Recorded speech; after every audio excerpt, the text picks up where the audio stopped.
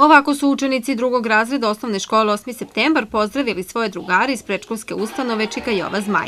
Zajedno sa svojim učiteljicama pripremili su zanimljivu predstavu pod nazivom Jesenje maštarije. Nakon toga organizovane su i zajedničke radionice. U prvoj radionici će deca ovaj, lišćem lepiti e, lik jednog deteta, znači tu jesenju haljinu će znači oblepljivati.